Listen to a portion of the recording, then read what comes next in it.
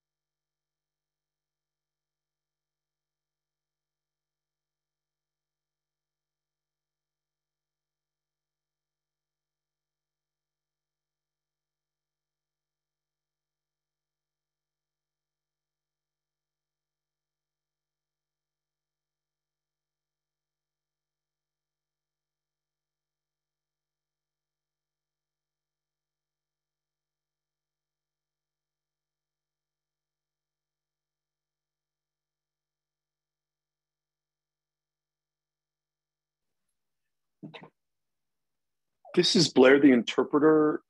Is the meeting started because I can't hear anything.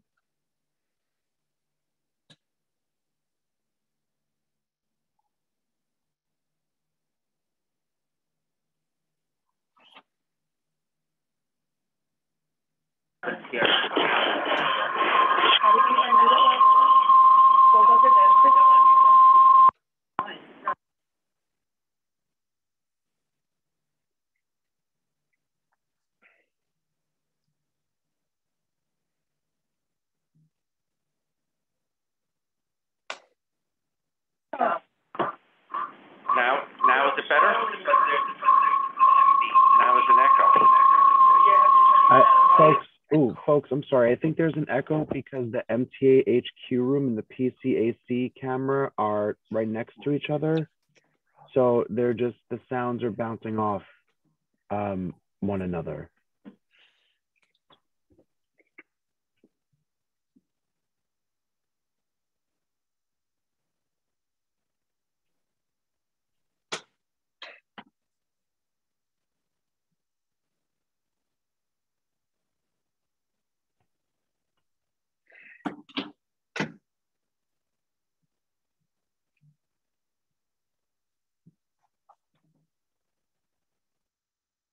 Is somebody talking right now? Uh, because it's, you can't hear anything. I'm sorry. I did, I'm sorry. We're getting IT real quick. Just give us a minute. Not that one then.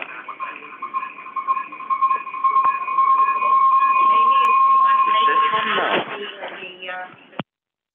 I unmuted it. that's not muted.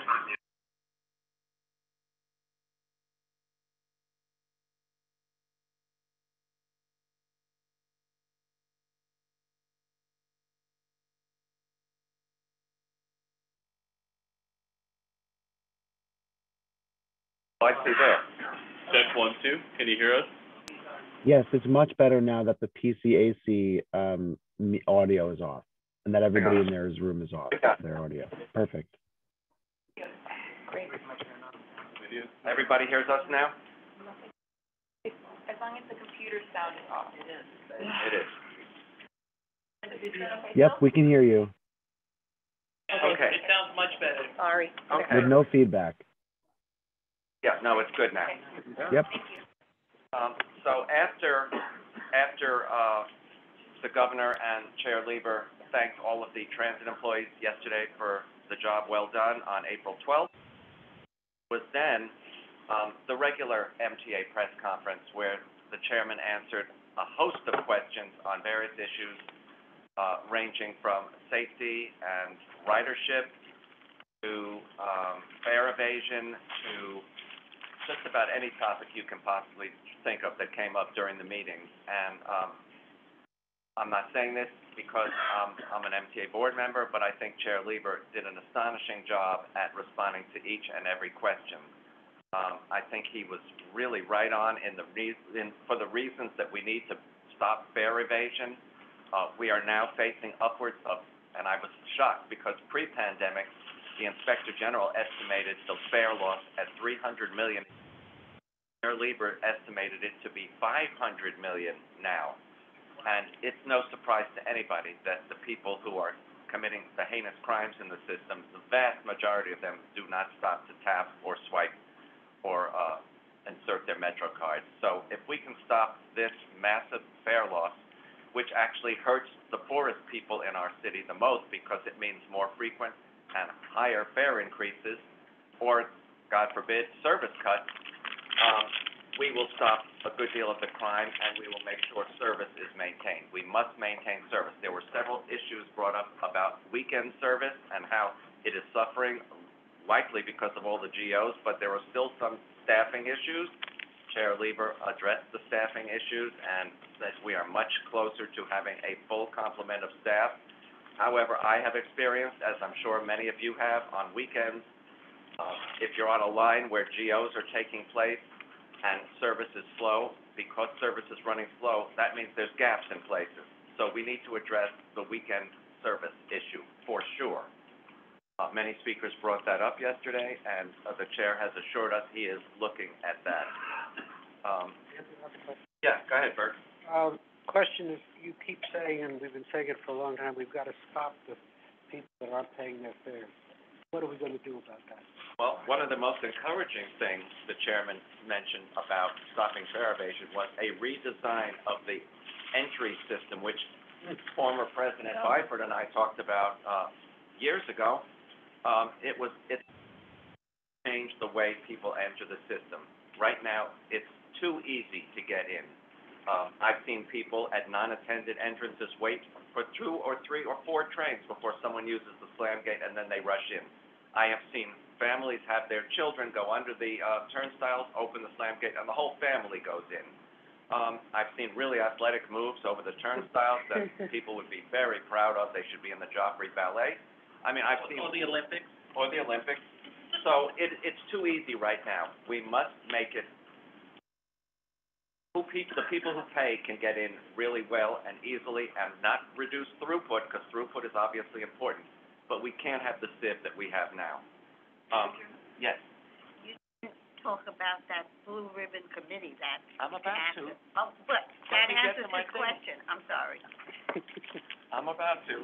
Yeah, but that answers his question, that something is being done. Yes, indeed. And to the, to the, to the end of looking into fare evasion and what can be done, the chairman has appointed a blue ribbon panel. Uh, it may not be the complete list of names, but it's a great list of people, uh, including David Banks, the Chancellor of the Department of Education, Matt Fishbein, uh, former Executive, uh, Assistant for the District Attorney from Kings County, Michael Hardy, uh, National Action Network, David Jones, uh, Community Service Society and MTA Board Member, Roger Ma- Roger Maldonado, uh, former President of the New York City Bar, Malva Miller, uh, excuse me, Melva Miller Association for a Better New York, ABNY, where, where the chairman was speaking, Rosemonde Pierre-Louis, uh, McSilver Institute for Poverty Policy and Research, Kate Slevin of the Regional Plan Association,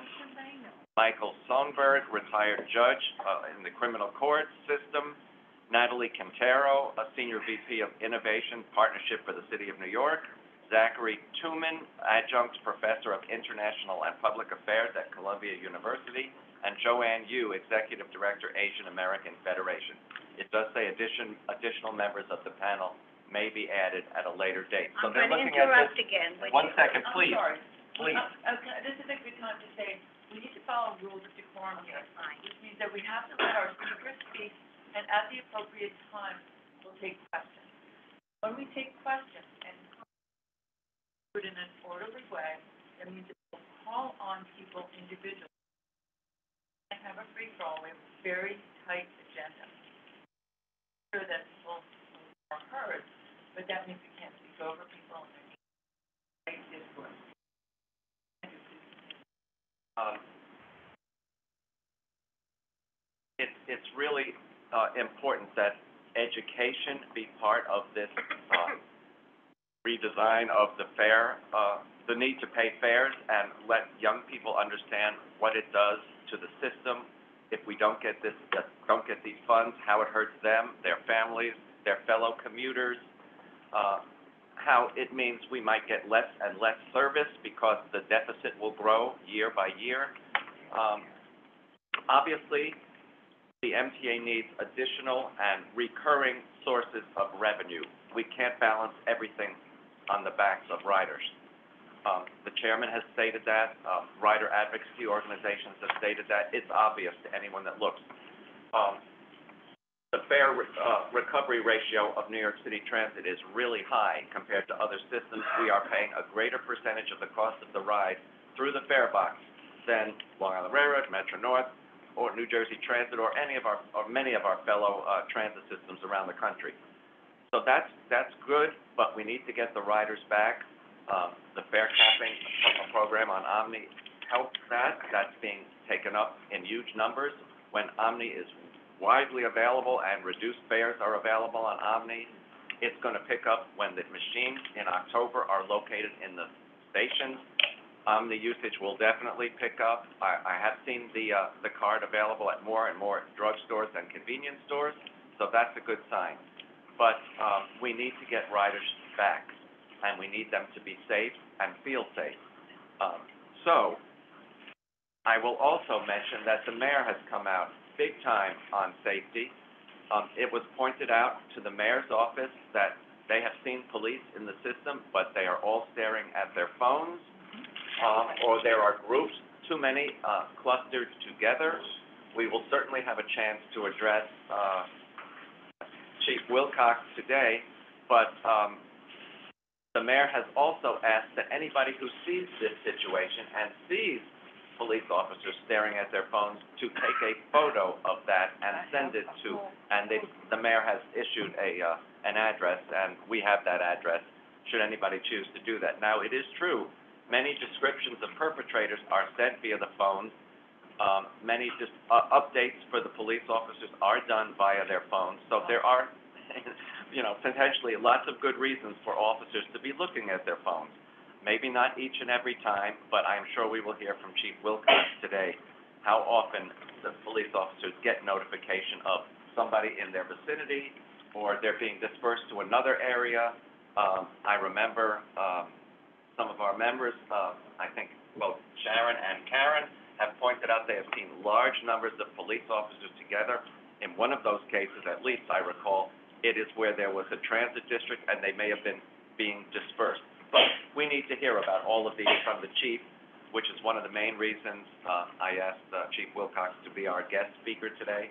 And I think, uh, he will answer everything. We will all be polite, respectful, and we will wait for the chief, um, to answer the questions we have. The questions will be for our members, uh, only. The press will not be asking questions of the chief today. This is for us. The chief made that very clear. Um, let me move on. Sorry. Uh, we also have, we have, I'm, I'm almost done, Trudy, uh, and then I'll take questions. Um, we also, um, are noticed, have been noticed that, um, there is track replacement going on in lots of places in the system. And one of the places, and we don't have the start date yet, will be the three stops on the, um, on the J line, Parsons Archer, Sutphin Archer, and 121st Street. Service will be suspended for several weeks between those stations while this important track replacement job is, is undertaken. There will be a shuttle bus, obviously free, from, uh, 121st Street to Briarwood, uh, Jamaica Van Wyck Briarwood Station, uh, and people will be able to transfer to the Queens Boulevard line there. And very excitingly, there will be cross-honoring of Metro cards on the Long Island Railroad from Atlantic Terminal to all stations in southeast Queens, which is kind of our freedom ticket taking even greater effect. Unfortunately, it's when something important is being done. We would like to see it all the time, obviously. But this will help riders who utilize the J line and who will obviously be inconvenienced by it not going any further east than 121st Street for many, many weeks, uh, to get to their destination, uh, safely and efficiently and possibly even more quickly, uh, depending on where their ultimate, uh, origin and/or destinations are. Um, Trudy, your question. Have two comments. First of all, somebody, I don't know, somebody at this table said, who is she? Rosemonde, besides whatever her organization is, was the former deputy borough president, uh, under Scott Stringer and was also, and was all, and also when he was controller. And she, one of things she handled for- with him was this whole question of fare beaters, because it was a very big thing for Scott. So I think that should be noted, that it's not just appointing people from out of the blue or because they happen to belong to some organization. Right. That's number one. Right. Number two, you left out, unless you're gonna bring it up later, something else that Kathy announced yesterday, uh, which is about the Q seventy bus and the, uh, LaGuardia getting to that, but okay. that- Yeah. because I, that is, but, but also the way the media handled it afterwards was very discouraging, because she said it was gonna be a free ride now to LaGuardia, you know, all the time, and the way they handled it is, is really, you get a free, you get a, tra- the only way you can get a free ride is from Seventy-fourth Street, but anybody who takes the bus or, or a subway to get to Seventy-fourth Street, I'm, I'm just repeating Well, of they course. said. The free And- ride is to and the it- airport, it's not to the station where you get the Q seventy, of course. Exactly, and which is what you have anyway, because you have a free transfer. I'm just pointing out to you that you may wanna know that, because I watched after, Right, but let's keep in mind that the Q seventy also goes to the Woodside Long Island Railroad I, Station. I am not saying that, I am, that is, I am just reporting the way that it was treated mostly Yes. in the media, because after watching, going to the board meeting, I mean virtually going to Okay, the board we, meeting. we have to really speak Yeah, succinctly exactly, today, we have and- so much and going That's all on. I wanted to. Thank you, give- Trudy. To Sharon. bring up to. I would just add that the M sixty is just as effective, if not more effective, than the Depending on Q your origin or destination, absolutely, the M sixty, if you're going to uptown Manhattan or, or uh, Harlem or Upper West Side, that's the way to go. But Yeah. there's no free ride on the M sixty. No, there isn't, but by the time it would take you to do the But free if you thing and go, transfer, it pays you to take the M sixty. You'd miss your train. You'd miss, you miss whatever. Andrew, Uh, yes, Chris. um, I'll be quick. Andrew, uh, when you mentioned the gates, we also need to remind that when an accessible person is going through the gate, they have to be really careful, and Deborah mentioned this last month, that when she tries to go in, you, you got to pray no one's running or hitting her or any walker or stroller, so we need to make that very clear. It's not just one person, it's also accessibility for seniors and people with disabilities And also. when they look at new entry, that will absolutely be taken into, Yes, and I had, Okay. I had, this morning, I had the meeting with Carmel Q, we were talking about it today, about that. okay, Stuart.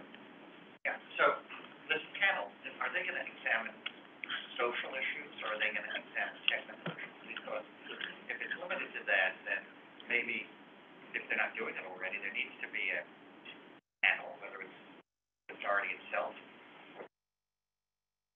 investing what other systems. Um, they are gonna be You know, look, they, physics- I know for a fact they're gonna be looking at other systems. Because we discussed that here. at this- Absolutely. At this group, and we talked about the configuration, the height, the width. um, But is going to present that to that panel, or they're gonna be looking at social issues that are causing Uh, people They're, they're supposed to look at every aspect, um, from education early on, uh, what, what it means.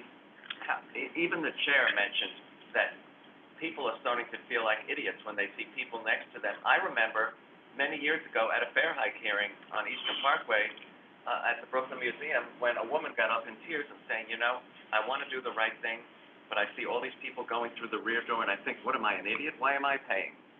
So that's an issue that, you know, respect for your fellow riders, that needs to be taught early. And as we have here at the body knowledge of other systems, I think we should share that. Absolutely, and, uh, Janno has, Chair Lieber has told me he will be in touch with me on a regular basis during this. Um, You know, France and uh, very different configurations. yeah, several systems in France, yeah, Yeah. absolutely. Um, okay, um, our, our speaker asked me what floor we're on, I told him, so he now knows where we will be when he arrives at one o'clock. Um, May I say? yes, please. Um, the, uh, the, the chair has also indicated that he is open to looking at considering other panels. Um, so, you know, it's not a, it's not a closed group, although it is a group that is, um, welcome and, uh, and, so it will be, but I think that, you they, they understand that there's always the opportunity to learn more. Um, Chief Levin from is on that, and they've done a lot of work into other systems and our Absolutely. policy as well. Absolutely. So, um, you know, and David Banks. And David Jones. Yes, that. So, um, uh, affordability. That, and eco. That, And let me just add something which I should have said earlier on the safety discussion.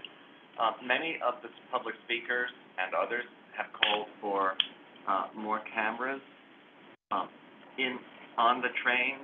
The R two eleven fleet are camera ready and will have cameras.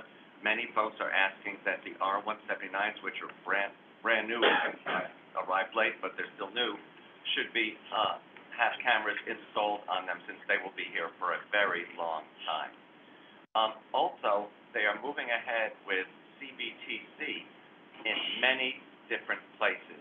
We got a presentation on, um, CBTC on full Eighth Avenue line, uh, even more on the Culver line. And, um, I asked, because we had gotten a demo at one point of, um, ultra-wideband frequency, which can be put on any cars and which is much cheaper and quicker to install, if that would be also used in the system, and they said it absolutely would be. So this indicates that not only the newest cars, which they are, which come CBTC ready, or are, in the case of some being retrofitted to be CBTC ready, but other cars that aren't ready to be junked yet could have ultra-wideband installed on them and thus benefit from the CBTC technology via ultra-wideband. Yes? Question, um, Karen? Okay. Sure. Uh, in terms of the makeup of the Blue Ribbon Council, I'm assuming that everyone there takes transit? I, I sure love to assume that, and I know, I know several of those people personally and that they do, but I cannot vouch that everybody does. But I will ask the chairman. Okay, I think that's really important. It's very important. I mean, transit or heat? Hey, Yeah. I hate, hate. Okay, No, thank you. we can have- we can have a love, hate relationship, but they have to. Um, and the other one, is the other question is, um, you mentioned that, you know, you hope that younger people will understand the nations of, you know, fair nations. Do we have younger people represented?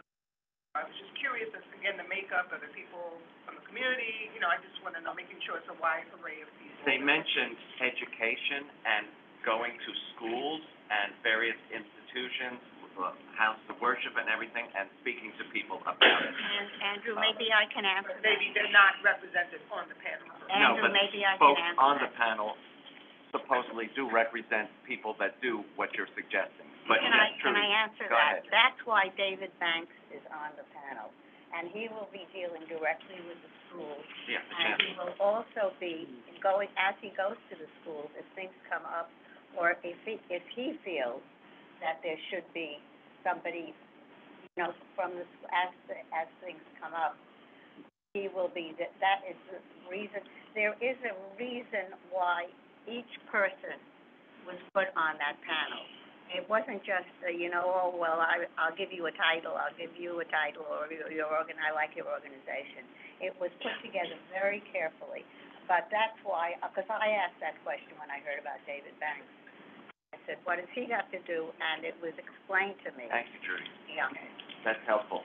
Uh, Chris? Yeah, Andrew, um, just thinking about the, ri- the ribbon committee, are they gonna be also asking any disability groups to go on?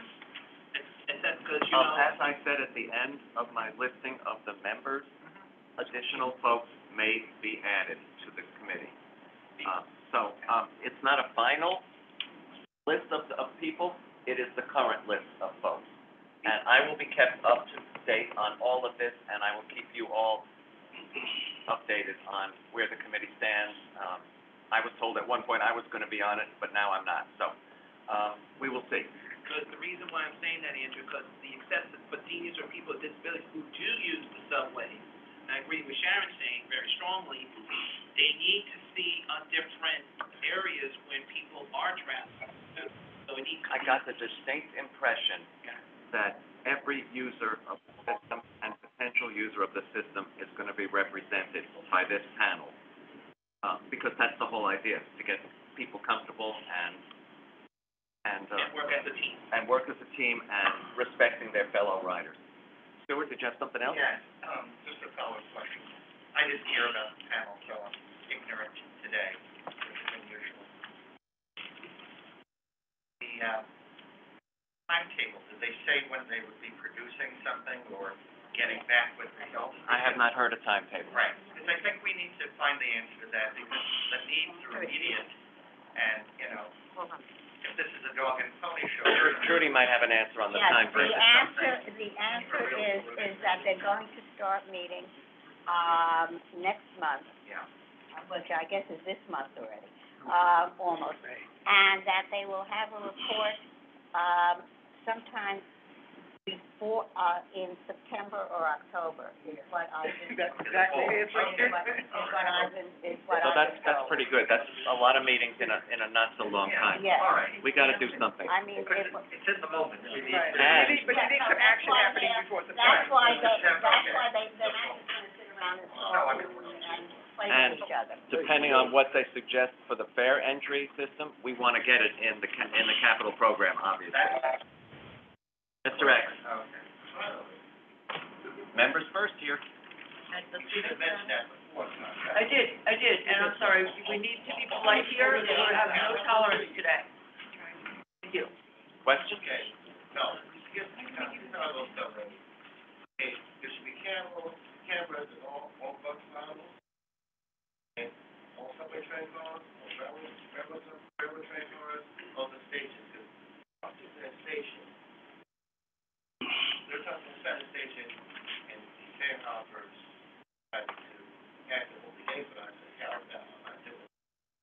I'm afraid they don't have me because I'm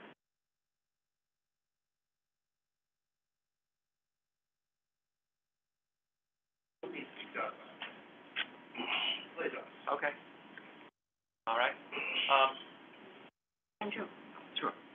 since we're talking about cameras, Yes. may I, I, I've discussed this with both you and Lisa, because when we came out with our statement um, about, you know, we, uh, right after the, right after the incident, I think we were the first to come out with a statement, except it wasn't our statement.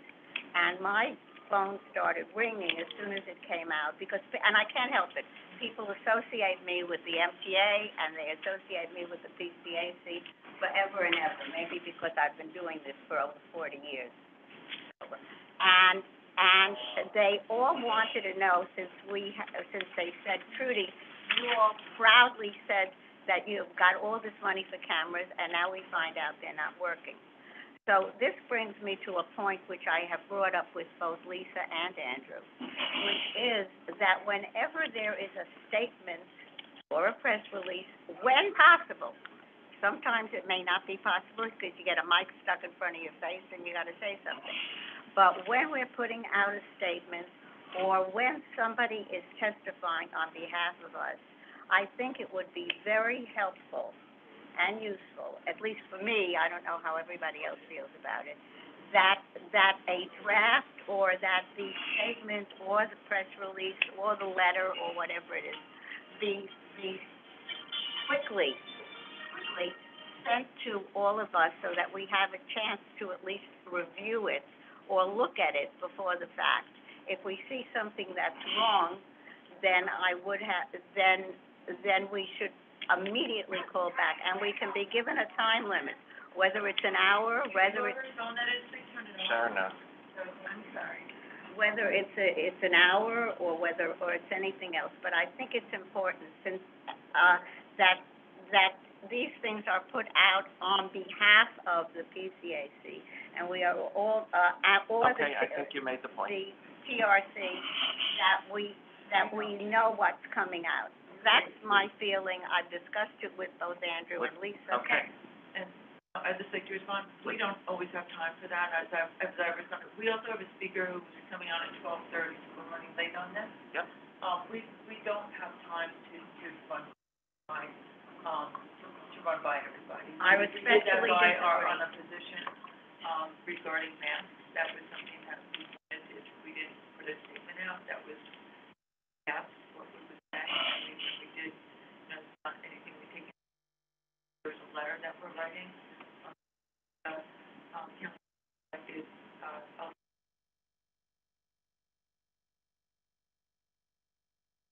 and it will do, particularly when we're, um, asking people to sign on to it. But, um, as you know, better than anybody, press turnaround is incredibly fast. Lisa, and there we was, don't have that time. if I just may respond very quickly, I will say that we did not have to be the first group, individuals or anything, that had something to say what was going on in Thirty-Fifth Street when we didn't even know exactly what had happened or with the cameras. I'm, and I will say it again, it is my feeling. Agree to disagree, but we It- don't wait a minute. to do this right now. Well, then, well, I, when, when can we do it? Let's Because do I it think not it's right now, important. because we have a guest at twelve thirty and it's twelve forty. Can we just go to new business? We don't, Let's, let's hope that we can get through efficiently and we'll have time for a discussion okay, otherwise afterwards, we're okay? gonna, uh, Okay. We have people waiting and we do have a tight schedule, as Andy Byford might say. Okay, but we do So, have, we do have, um, our first we do, and, um, you may recall that there have been a number of proposals for, um, rail service to LaGuardia Airport. Um, some of them have been our own. Um, I have my own ideas of what I'd love to see, but certainly the idea that you go way beyond, to Matt Willis' point, um, I understand the reasoning behind that particular proposal. Uh, it wasn't gonna, uh, inflame various neighborhoods, uh, who are sort of, sort of fighting against an extension of the NW route, although there are other permutations of that that might satisfy those neighbors, but in any event, uh, Scott Spencer of Ameristar Rail is with us today. He has a, a proposal, um, to get rail service to LaGuardia. Uh, he also has several proposals for Amtrak service, but we're not getting into that today. So without, uh, any further delay, Scott, you're on. Well, thank you. I, I appreciate the invitation I have to uh, speak before the New York City Transit Riders Council. And I know how important this meeting is. The chief is expected. I'm going to do what I can to compress uh, my remarks so we can get you back on track. But I would want to share uh, first my condolences and my sorrow for the crime that is confronting the New York City transit system. I know we're all passionate about the success of transit and how important it is for our freedom of ability, peace of mind, and ultimately quality of life for those who live and visit the city.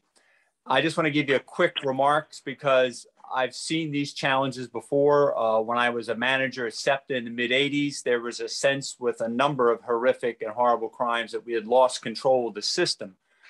But we implemented uh, four P's of, po- of policing that is worth reflecting on because they, they would still be effective today. That is uh, zero tolerance of petty crimes. You mentioned fare evasion, of course, sales on the train, even foul language. Why? Because behind the petty crime we confronted, normally there was some want or warrant for an individual. The word got out very quickly, even for petty crimes, they were going to be uh, confronted. So a lot of people had prior wants and warrants uh, disappeared from the system because they were being confronted. Of course, plainclothes police.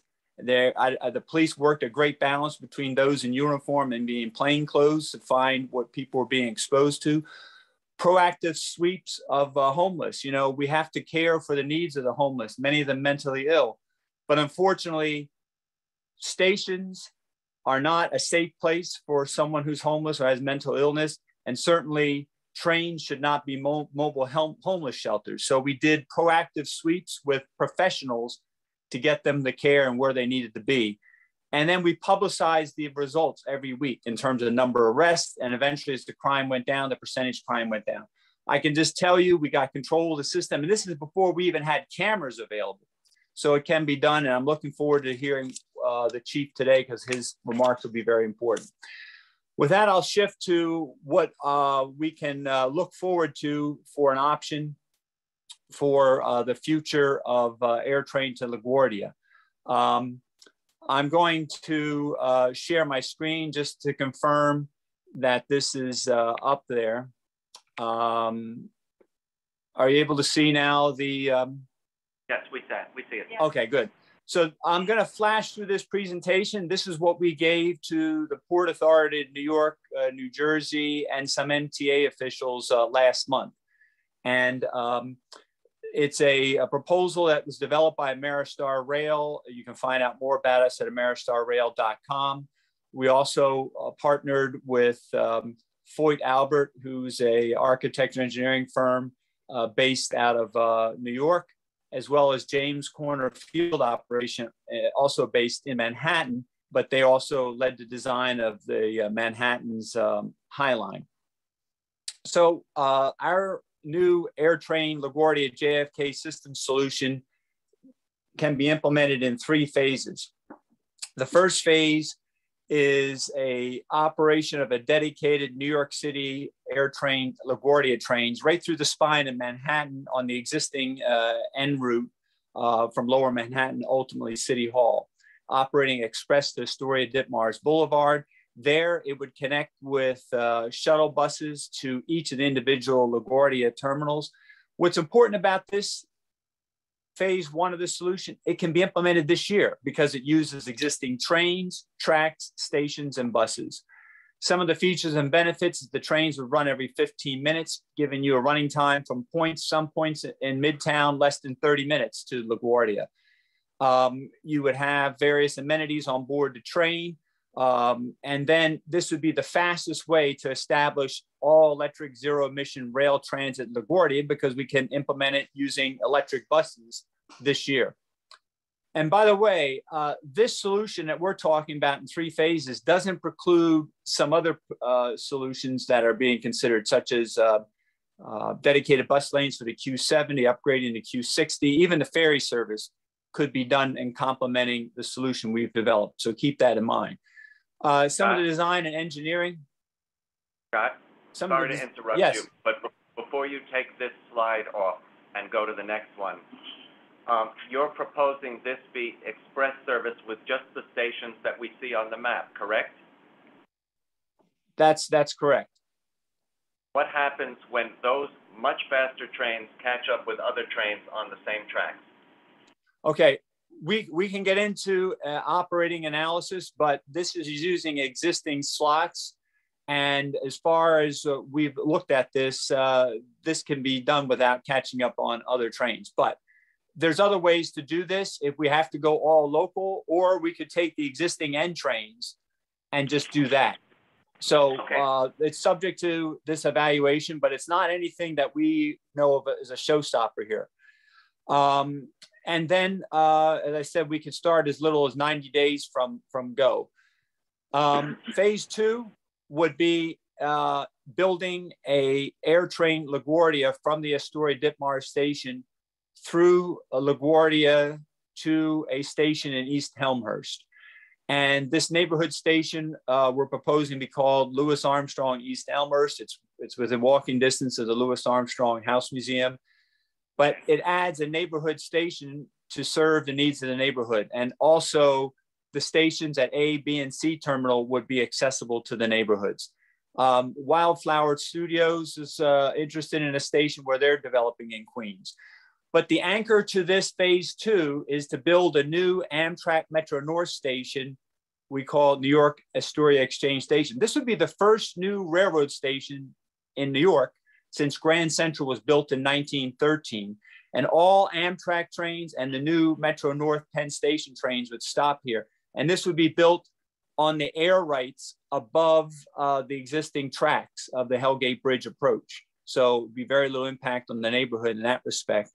And um, it would give us also another benefit to the neighborhood is along the alignment, we would build the air train sky trail to give a number of recreational and commuting benefits. There's a lot of bicyclists who bicycle to their jobs at LaGuardia. And uh, I also want to just point out there's a lot of push for extension of the N&W to the airport, both this route versus, as well as Grand Central Parkway, because of the 275 fare. But you know what?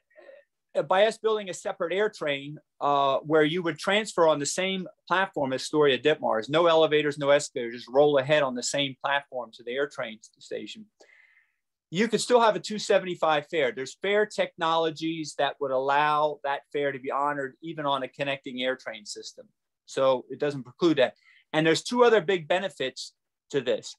If you extend the N and W uh, trains, you're going to be dragging a 10 car train through the neighborhood. The noise and impact of that is significant. You don't need 10 cars into LaGuardia. You only need one or two cars. So it's much more efficient with this transfer to go to the air train technology, which is quieter, only two to four cars. And the bridge structures have less impact on, on the neighborhood. We'll show you that in a minute. And um, it uses the same air train technology. It would provide connections at AirTrain, uh, the um, Astoria Exchange Station for services uh, for people traveling from Southern Connecticut, Westchester, the Bronx. Even the governor's proposed Interborough Express could be incorporated in this to provide a game-changing access for those coming up from Brooklyn and other parts of Queens to be able to transfer right here as it goes on to Brook uh, to, to the Bronx to transfer to Astoria Exchange Station to get to um, to AirTrain uh, to LaGuardia.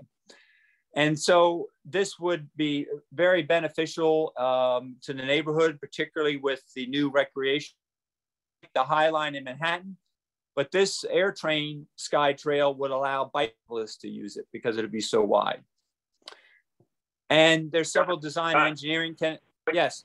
Scott, we have a quick question and an important one. Trudy, go ahead. Yes, you said you presented this to various MTA people, to the Port Authority, but as you know, the, it was the governor who, the current governor who, who stopped the former governor's air train plan. And she has made it very clear, I don't know if you heard when I, we talked about her proposal right now for a transfer between the M seventy and, and the subway. Yes, it's to free. get the- Okay, Houston. and all I wanna know is have you presented this to Governor Hochul or any of her people or the State Department of Transportation? The, those, the, We will have the final word. no, you're Okay. correct. You're correct. If you go to our website, ameristarrail.com, look at our latest proposals, you can get the copy of the letter that went No, to I'm the governor. asking a Yes. I don't want it. I don't represent the governor. I am No. asking a simple question. Yes, we are going to do that. Yes. Has this, has No. this been He presented? said they are going to do it. No, we've been told, eh, we've been told it will be arranged. We're going through representatives of the state senate and the assembly. They're working on it. No, But yes, no, they no. know it'll be done. excuse me, the governor has an office, and I would strongly Yes. suggest that before you go any further, because she has made it very clear, both publicly and privately, and even yesterday when she discussed the transfer, that she, Yes. that she does not like the idea of an air train. So Right. wouldn't it make sense for you to go to the governor first, not the legislature, not anybody else, but to We have, we've gone to the governor. Yes, we've gone to the governor. She's very busy. She's had this since December, but in the meantime, we're doing Thank you. meetings like this to listen and learn from various other interests. We don't, we want them to hear from us rather than just the governor. So yes, we are working on that. With the time remaining I have, I just want to point out to you that we have um, advantages with this system to minimize impacts on the neighborhoods, way the stations and the bridges will be designed. And I'll, I'll talk about that in a minute. Phase three then builds out AirTrain from the Louis Armstrong East Elmhurst Station through Mets-Willets Point and then along the Van Wyck Expressway to connect into the existing AirTrain at Jamaica. This will provide three new stations for transit in Brooklyn, in addition to Mets-Willets Point, Jewel Avenue, Briarwood, and uh, it extends the AirTrain to operate as a through service to uh, JFK. Features and it. benefits of this? Yes. Those are new stations in Queens, not Brooklyn. Oh, I, I misspoke. Thank you. New stations in Queens, Jewel Avenue, Briarwood, and uh, Mets-Willets Point. Thank you. And then this will create a seamless passenger transit system uh, north and south through uh, Queens to L- uh, LaGuardia, JFK. We'll have the only major airports in the world connected by a one-seat rail transit line that provides airport passengers and workers convenient access to both points. It will this this solution will have the most dramatic reduction in traffic and parking congestion in, in Queens. Uh, I've heard many times about the number of people parking in the neighborhoods there. And anybody coming from Long Island will have a transfer either Jamaica or Mets-Willets Points to LaGuardia on this system. And then it will create a benefit for Queens with uh, one of the most remarkable linear parks in the world, the AirTrain SkyTrail, 10 miles long from Astoria to Jamaica in terms of recreational and commuting opportunities uh, for, for residents. There's a number of design and engineering considerations, but one of them is the SkyTrail will uh, help reduce snow and ice accumulations on the tracks that will be built above the tracks uh, like that. Now, there's three signature elements that we think would be beneficial to the neighborhoods. One is bridges. We don't want to see all the columns along the Flushing Bay Promenade or driven into the neighborhoods there at Astoria. So there's a number of soaring bridge designs that will be very attractive and distinctive for the neighborhood. But as you can see, they minimize the columns that have to be driven into the neighborhood. And those few columns can be driven by technology we know of, push driven or auger driven, that are very quiet and reduce vibration to minimize impacts on neighborhood. Other signature element is the stations, really remarkable opportunities to enclose areas where people shop and work as they've done here in Europe. That can be part of a, a very attractive uh, improvements uh, for the neighborhood and the businesses. And the third signature element, besides the br bridges and the stations, is the AirTrain SkyTrail. We all know how transformative the High Line has been for Manhattan, as you can see here. And already extensions of the High Line are being built. We foresee these opportunities for uh, Queens to be just as beneficial. And these are examples around um, the uh, around the world. And that's why James Corner Field Operation uh, has been brought on board as technical advisors because they were the success for the High Line in New York. I like to summarize, and I know we're running out of time here, the community benefits for the new AirTrain LaGuardia JFK system solution. It's going to provide rail transit for Queens neighborhoods at seven new stations, and it'll provide enhanced access to Flushing Bay via the SkyTrail and the new Louis Armstrong East Elmhurst Station. The new Amtrak Metro North Station at Astoria Exchange. It's going to become the back bay of New York. Boston has two stations. New York's the busiest and most successful Amtrak station in the country, only one station. Now all Boston to Washington Amtrak stations would stop in Queens. Again, benefiting the neighborhood because of AirTrain being built here. The 10 mile long linear park, the AirTrain SkyTrail, as you can see from these aerial photos, will create Instagrammable moments for residents, visitors, tourists alike throughout Queens, providing bike and pedestrian access to LaGuardia airport workers. And of course, this will provide rail transit uh, service as well to both airports for airport workers, providing both SkyTrail and rail transit access to Met City fields for events and jobs. As I pointed out, all Long Island Railroad lines will have rail transit access to the airports. And uh, LaGuardia and JFK rail access to the New York region will dramatically reduce traffic congestion, noise, and pollution in Queens neighborhood. And as I pointed out, the governor's plan of the Interborough Express could be accommodated and extended to the Astoria Exchange Station on its way to the Bronx, providing improved rail tra uh, transit access for Queens and Brooklyn neighborhoods. There's a number of revenue streams and funding sources, which I don't have time to get into right now, but are unique to this plan that helps pay for the plan. And uh, Ameristar Rail, um, I was responsible for developing the startup and operating plan for the first railroad extended to a US airport in the United States, SEPTA's airport line. So there's a lot of that innovation incorporated in this plan. As I said, Foit-Albert, they've been involved in both LaGuardia and JFK projects and James Corner Field Operation. Remarkable what they've achieved with the High Line in New York and uh, around the world. So I'll summarize this. Why choose the new AirTrain LaGuardia JFK system solution? It will provide the most comprehensive rail transit access for the New York region to LaGuardia and JFK. As I showed you in phase one, we can begin AirTrain LaGuardia service this year it will provide the greatest reduction in traffic congestion and pollution in those neighborhoods. Creates a major new transit line serving Queens neighborhoods, Flushing Bay and Citi Field. The AirTrain SkyTrail, it's a linear park that will provide remarkable recreational benefits for communities along the AirTrain route.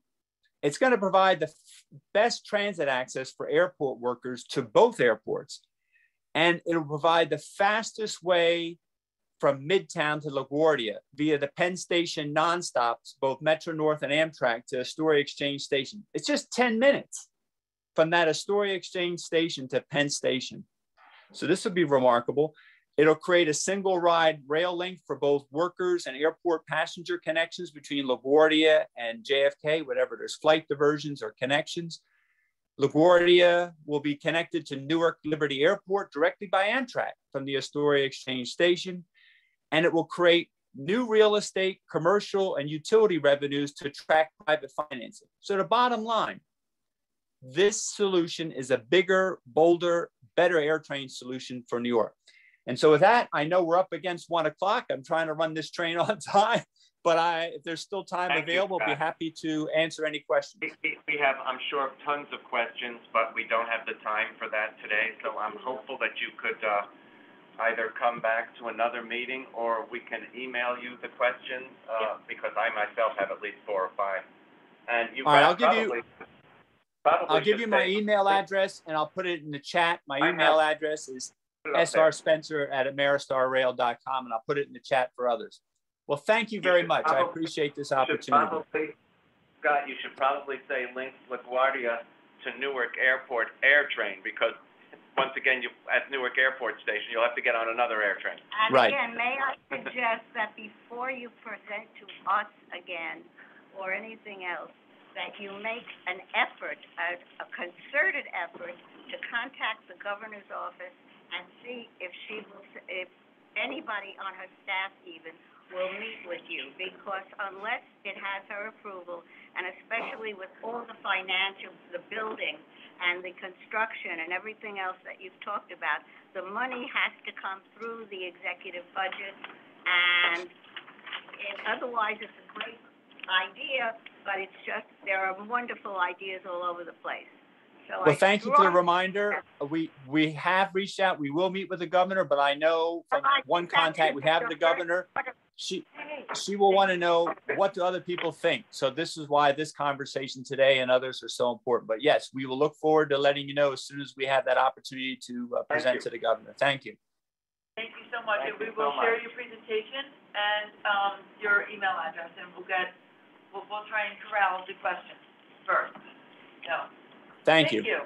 Thank you, Rod. Hello, chief. We are, uh, extremely fortunate Right on time. to have our guest today, uh, a very, very timely speaker for everything that you have been hearing about that is going on. And, um, this is a very special day for the chief. It is his Happy thirty-fifth anniversary. anniversary with the NYPD.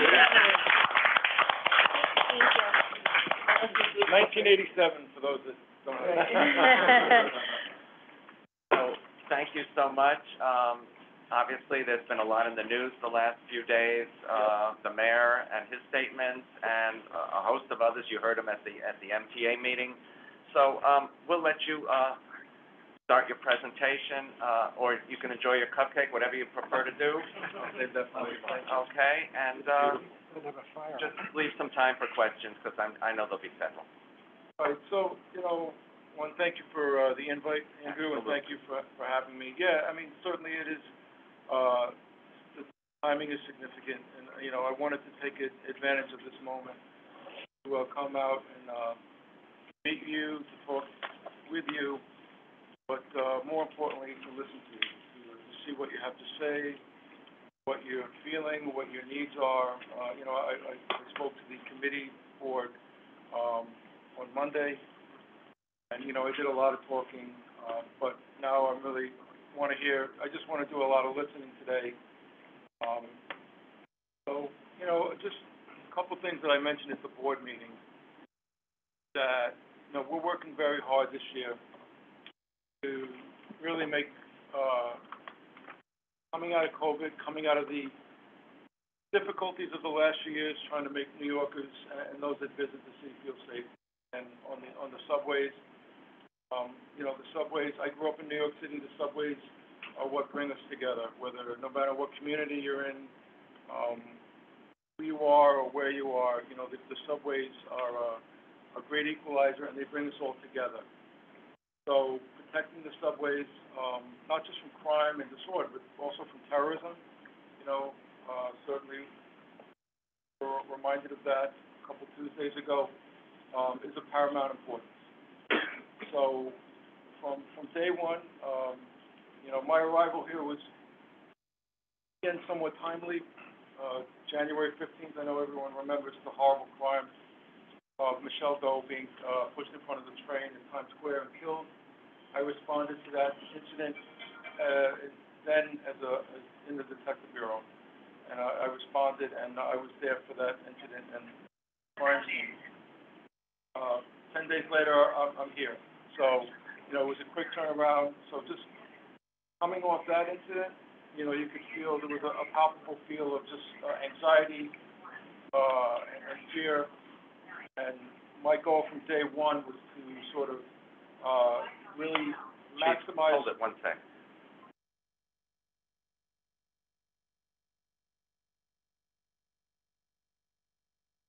Okay. just to sort of enhance, multiply and maximize our visibility. That's what I've really been trying to work hard on. Um, we're doing, uh, transit officers, precinct officers, housing officers that are coming into the system to do, um, vertical patrols. We're really, really trying to extend our presence and make it felt uh, throughout the system, and not just in Manhattan, but, but everywhere. And, you know, that's of critical uh, importance to me.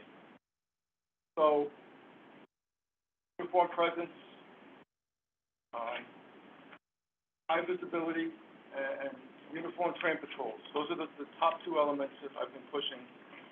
Then, you know, we also have the mayor and, and our, and, and our subway safety plan, and uh, we're certainly emphasizing key elements of that. One is a greater attention to quality of life. You know, we've done a lot in the last few months to really address quality of life. Obviously, theft of service, uh, you know, we, we've, we've, uh, our focus on theft of service. Um, we have over twenty, over twenty-four thousand theft of service summonses this year. It accounts for about seventy-nine percent of our total summonses. But that's not all of it. I've really been emphasizing quality of life summonses on the trains. And, you know, what am I talking about? Smoking, drinking, urination, outstretched, um, disorderly conduct, things of that nature. So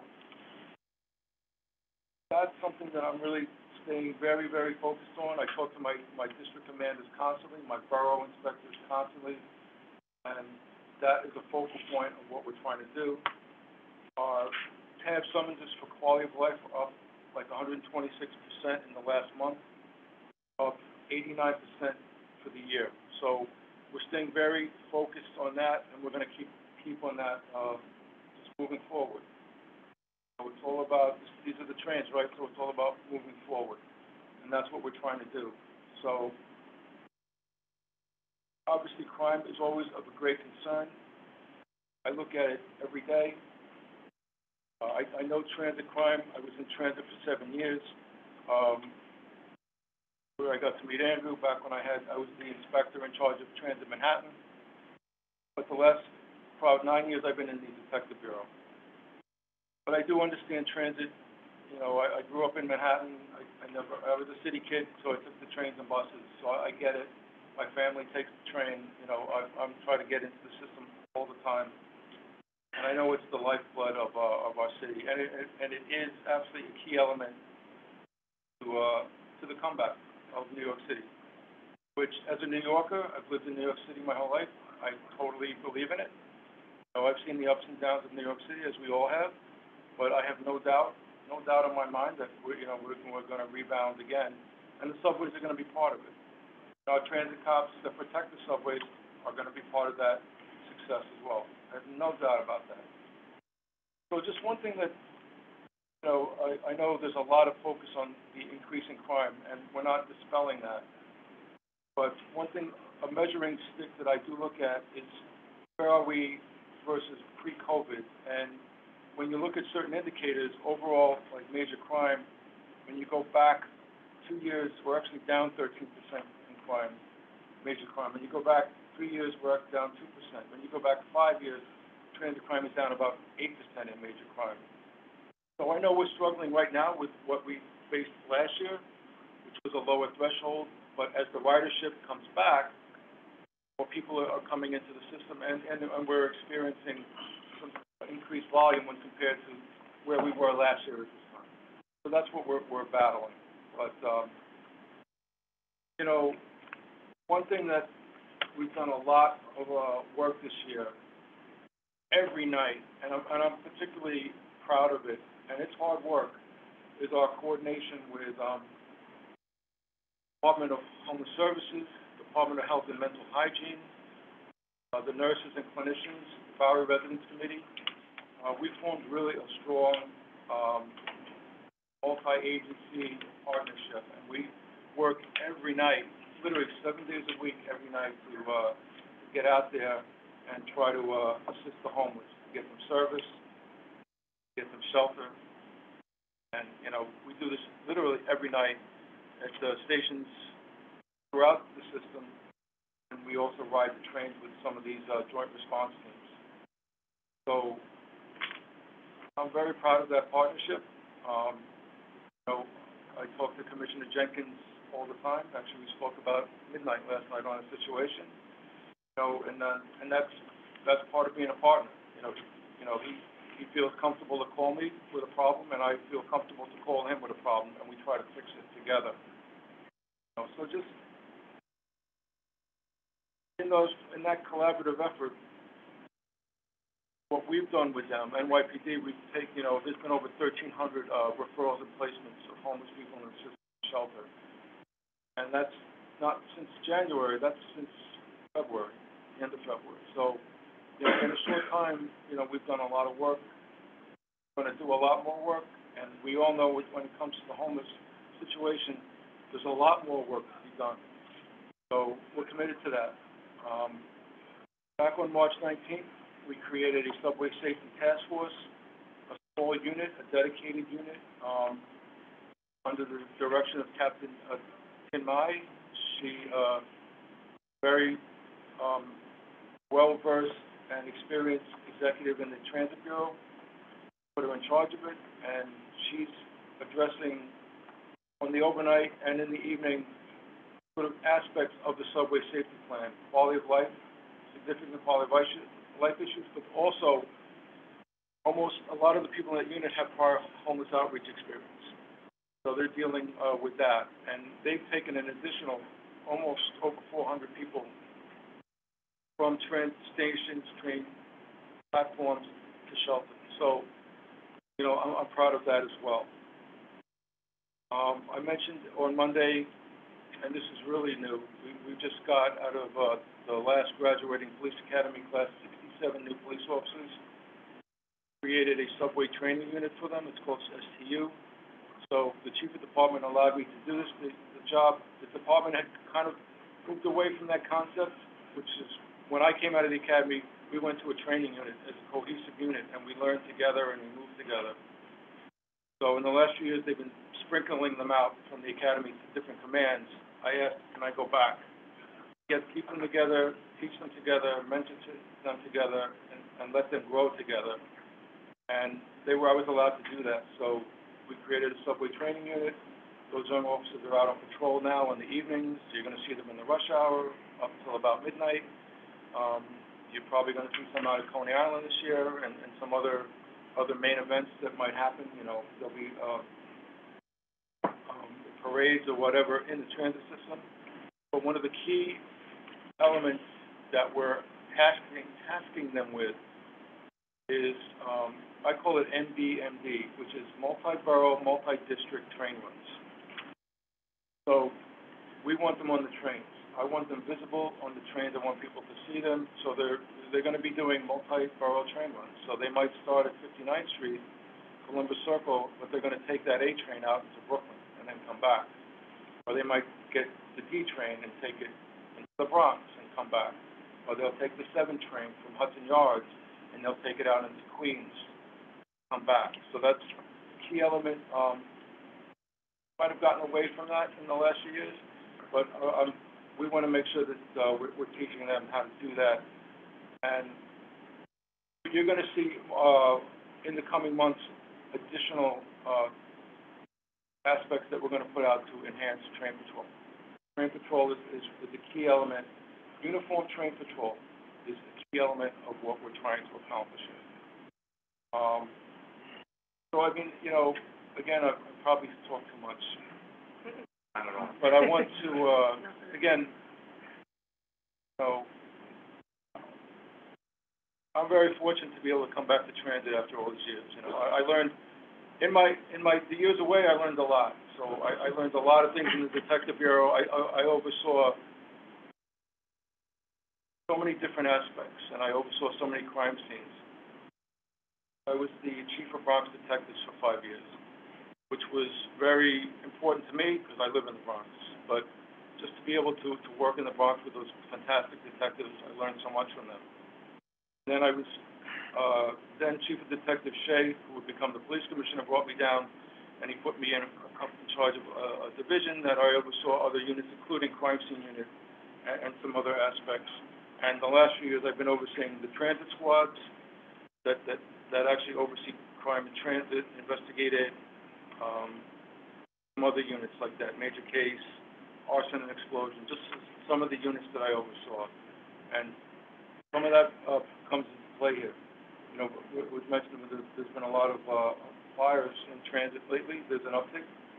I've been able to kind of plug into my old network of those detectives in arson and explosion, and they've done a great job trying to help us. We've made a lot of arrests actually this year, uh, on people that were setting the trash, trash cans on fire, other, other, uh, things on fire. So that, um, very serious issue that we take very seriously. But, uh, you know, I, I'm just gonna open it up to any thoughts, uh, or, or comments you have, and, you know, I can answer your questions. And I'm sure there I'll are let plenty. Andrew be the, uh, moderator here. Okay, I just wanna, sure. I just wanna, um, first, thank you, but I just wanna sort of reinforce the rules of the road that we started with, that, um, we're gonna have our members ask questions first, that Andrew will call on the Yeah. members. Yeah, Um, we have members of the public who are on the screen, we have some members of the who are on, so the media, I'm not taking any questions from the media, I have, uh, I have Deputy, Right. uh, Yep. from DCPI with me. Yep. They can reach out to them and we'll, we'll take, uh, so questions. I just wanted, so we're gonna, Andrew's gonna call on them, um, and then we will, um, if, if people who are, are members of the public would like to raise their hands, um, we will take you after. Um, but we'll intersperse members of the public in the room with members of the public who are on, uh, the Zoom. We do have some members of the council on the Zoom also. Okay. Okay, Andrew? And we know who they are. Bert? Uh, sir, I don't want to outdo your thirty-five years. I've been a commuter on the subway system, I just figured out, for seventy-four years. Bert, Can you speak a little bit louder? for us? Okay, I, I've been a commuter for seventy-four years, so I have a couple of years more. How, how do you plan to put the officers on the trains mes- in the method that would get them to do the most good? By station, by riding, or a combination of stations? Combination for sure. So, I mean, the key thing is we want to get them on the trains, riding with the public. See them, they feel the presence and they make them feel safer. So, it's a combination, there's no one answer to that. Some are short train runs, it might be from Columbus Circle to 125th Street, but we're emphasizing, particularly with our younger officers and other aspects that are coming down the road, to do much longer train runs. You know, uh, it's an old, uh, transit concept of the TPF, the Train Patrol Force. We're looking to sort of reinvigorate that concept. So, you know, we want our officers to be on the train riding with the public. To, to, to Bert's question, when officers are in a station Yep. and a train pulls into the station, are they told to look on the train while it's standing there and see if there's anything going on? Or do they stay just on the platform? So, what we want, and, and most transit officers know to, know to do this, is to, obviously, you wanna make sure that the conductor sees you, or the motorman sees you, so they know you're there, and to always, you know, it, it's, it's a rule of, of the transit road, that you always, you, you look in the cars, and, and you make sure, and you're watching the cars as they go by, to see what's happening. You know, that's what transit officers have done for many years, and we try to emphasize that. You know, we have a lot of precinct officers that come in to the system, which is sort of a new initiative for twenty twenty-two, started back in January, and we've had like hundred and three thousand vertical patrols from precinct patrol coming down into the, into the, into the train stations. You know, we want them to be visible, we want them to stop at the booth, so the booth knows they're there, to go down to the platform and to look around and, and stay there for a little while. So that's, you know, we always want to emphasize visibility, to be looking in the train. Um, there's another thing, another method that we do, which is called TOMS Train Order Maintenance Sweeps, which is a little more to what you're talking about. And that's really a transit thing, and we've done fifty-five thousand of those this year, where you might see a supervisor with several officers spread out. They'll let the conductor know, we're here, we're gonna conduct TOMS, hold the train, doors open, and then we'll go in, throughout the line and look in. So that's another aspect of what we're trying to do, uh, just to be We also have Maris, Marisol has a question. Okay, Marisol, go ahead. Hi, Chief. It's, it's good to see you again. I know, I know you're from the detective squad. Um, I think Andrew already kind of asked the question. I wanted to know, how long do you stay on the station? Um, we've received, we've received, hold on a minute, please. Nancy, Nancy, please, just give me two minutes. Um, if we can just know how long they stay on the platforms. I've been getting complaints regarding the D line and the two and five trains. Um, they're saying that the, the officers are not staying on the platforms long enough to really observe what's going on. And this mostly happens during the, the later hours. Uh, so I just wondered what, what's the strategy for the overnight? Because a lot of incidents are happening during those times. And again, how long would the officers stay on this, on the platform when they're, and do they receive complaints or are they just responding in general? I know that's a lot of questions, sorry. Well, I'll, start with the last question. Do they receive complaints? They're, they're, they're police officers, so their job is to be there and to handle anything, situation that might, they might either come across or is brought to their attention. So, yeah, they're, they're there to be police officers and to address conditions, for sure. Um, so, you know, I mean, obviously, Marisol, you know the Bronx, it's, it's divided into two transit districts. Eleven, which kind of covers sort of the west side of, of, of the Bronx, Yankee Stadium going up to Jerome Avenue. And then you have District twelve, covers sort of the east side of the Bronx, as you get the two and the five going up, uh, and the six going into like, uh, you know, Pelham or, uh, up into the fourth. So, on top of that, and I mentioned those seventy-five verticals, you'll have, having, uh, precinct portables coming down and doing verticals. They have a sector car, so they're not gonna be with us all night. They'll be with us for a short period. Their job is to come down, stay as long as they can, put eyes on the station, and make sure everything's all right before they resume patrol. The transit officers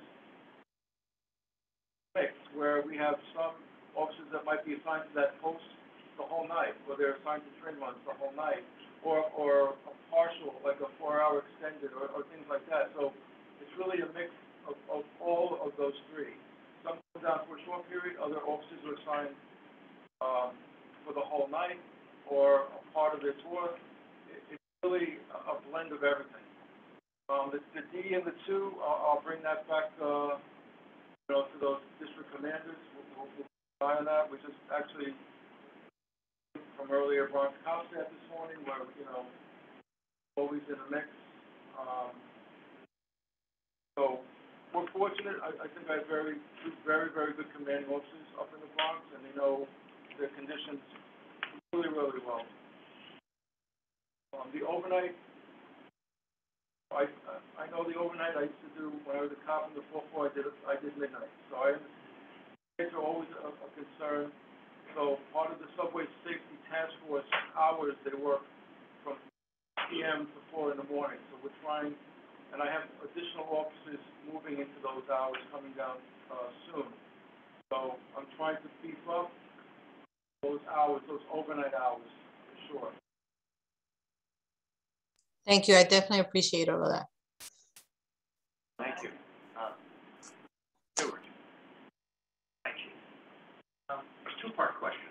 Uh, when you're, very encouraging what you were talking about today with different commands now assisting, you know, the Housing Bureau and, uh, borough commands, yeah. Yep. And, and the new, are you still having any human capital shortages? Are you still down in full stream, even with this So, you know, um, depends where you look. I mean, you know, depends how far, you know, we're slightly down from where we were pre-COVID. Um, but, but getting that sixty-seven officers was definitely a, a shot, a boost for sure. And there's an academy class in there now. So I'm hopeful and I, I am certainly, uh, I've had conversations with the chief department. I'm very hopeful we're gonna get additional officers, uh, very soon. But, you know, uh, attrition is always something we, we fight with. It's not just the police department, it's any agency. So, you know, uh, there's been a lot of retirements and, and over the, uh, the last few years. Uh, and, and it- it's the nature of the beast. Officers get promoted, they become detectives, they get other assignments, and constant ebb and flow, and you're always trying to backfill for the future. where you need? I'm in a good spot right now, but, you know, obviously, you know, I'm not gonna say no, you know, if they offer me more police officers, but just the, uh, the added coverage that I'm getting from patrol, um, is so valuable. Second part of the question, so we're talking about the uniform. Asked your predecessor,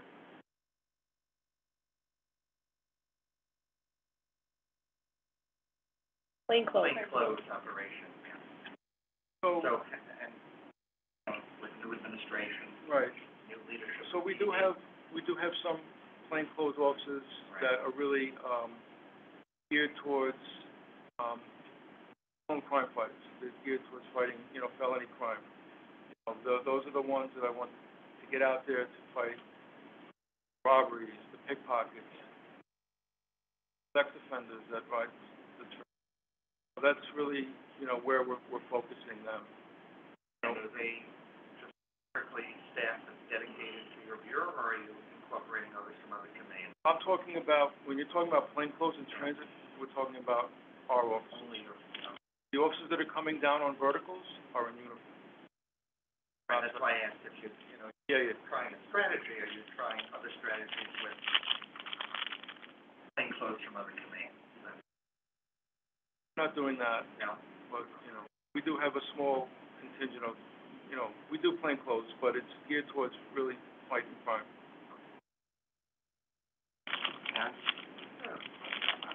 Chris? Uh, yes, Chief, one thing I just wanted to add, one, you know, with, I, where I live is Transit thirty-four, and I do see the offices there, and I have to say Transit thirty-four does the job. But when I go to another borough, I don't see the safety on a train station, like, I'm gonna say Jamaica, because I know Sharon can vouch with me as well. Uh, you got a lot of people that like to smoke at the Jamaica station where the Long Island Railroad is. And half the times, I can't even get off that platform because, and I know a lot of people vouch with me, I can't even, if I'm bringing my mother with a walker or someone else who has a wheelchair or a stroller, they can't get out safely. And it's like people, when they see us opening the gate or use our order gate mode, people like to run, but don't give the courtesy to a disabled person. And it's not just in Queens, it's almost every borough. And they don't have respect. I'm used to students, but now it's the adults. And it's kind of, you know, you think about it, the students have a little more manners than the adults. So can we, It uh, goes- try to work on that issue? That's my first question. So it- it goes back to kind of what I touched on at the beginning about us giving greater attention to quality of life offenses. You mentioned smoking, right? Yes. So that's one of the, that's, that's a, that's an, a quality of life offense that affects others on that train car. So that's what, platform. and the platform, I'm, uh, uh, I'm talking about anywhere, but definitely on a train car, but on the platform as well.